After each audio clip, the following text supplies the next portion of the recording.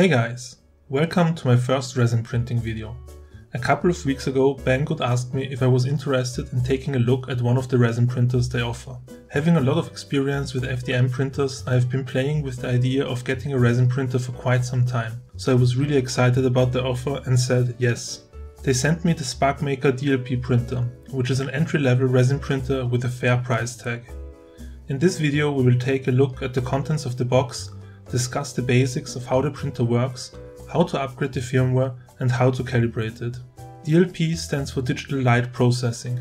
Using this technology the object is printed by exposing every layer for a certain amount of time to UV light, which hardens the exposed layer. The build plate is then moved up and the next layer is exposed. This is repeated until the object is finished. The great thing about DLP printers is that you can achieve a lot more detail than with FDM printers. The SparkMaker's printing resolution is 100 micrometer in X and Y and 20 micrometer in Z. The print volume is 98 by 55 by 125 mm, significantly smaller than on any FDM printer. The package contains the resin printer itself, a UV blocking cover, the 24 volt power brick with a switch, a matching power cable for your region, a hex tool for maintenance, and a short instruction manual. The first thing we are going to do is to upload the newest firmware to the printer.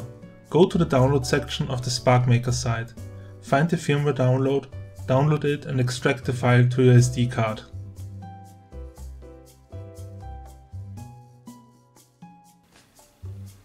Insert the SD card into your Spark Maker and power it up.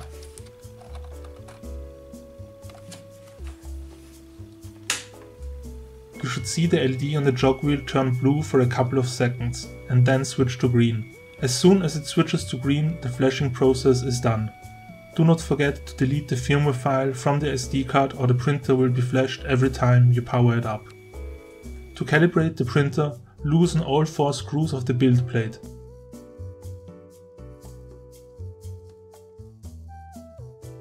Make sure that the build plate moves freely.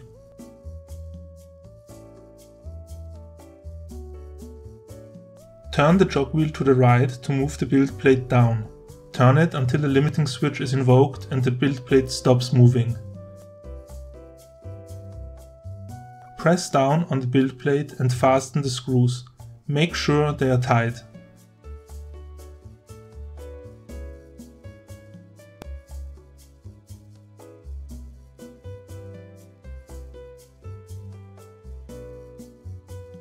That is it, your printer is now calibrated.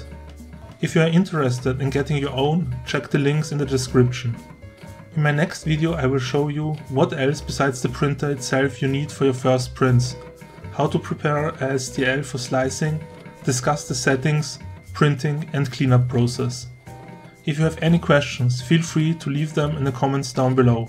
Don't forget to like and subscribe, I would really appreciate it.